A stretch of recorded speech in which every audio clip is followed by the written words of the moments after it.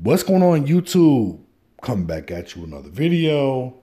So we got some breaking news in regards to rapper T.I. and also his wife Tiny. Weeks after we heard these accusations of sexual abuse as well as assault, now we're hearing that there's actually a lawyer who has approached law enforcement authorities in two different states, apparently seeking criminal inquiries on behalf of 11 people who claim that they actually were victimized by T.I. and Tiny, as well as members of their entourage.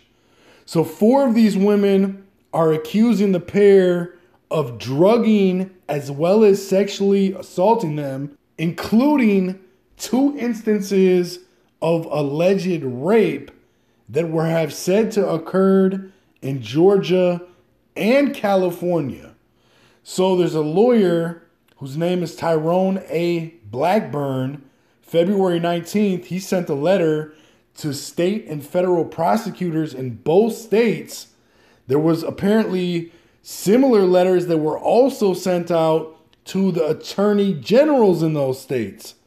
So this lawyer, Mr. Blackburn, who's based out of New York, said in quotes that the, these experiences were eerily similar and that they expand or they had spanned more than a decade and began from what people are saying in 2005. The last and most recent allegation that occurred apparently was in 2017 or 2018. And none of these women apparently know each other, but all described sexual abuse, forced ingestion of illegal, illegal narcotics, kidnapping, terroristic threats, and false imprisonment. And this is all on the behest of T.I. and his wife Tiny, as well as associates or um, employees. So this is getting kind of real now in regards to this situation.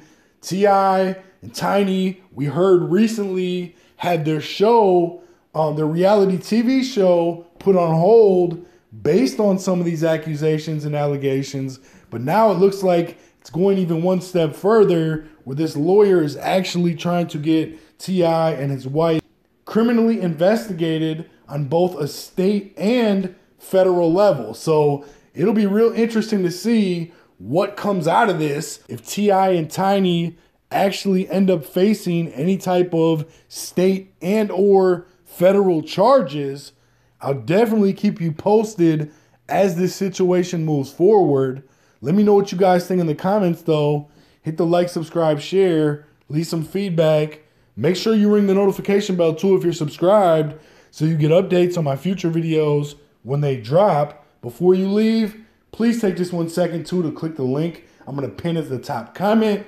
It's gonna take you to a dope artist out there trying to get his YouTube channel monetized. He's almost there.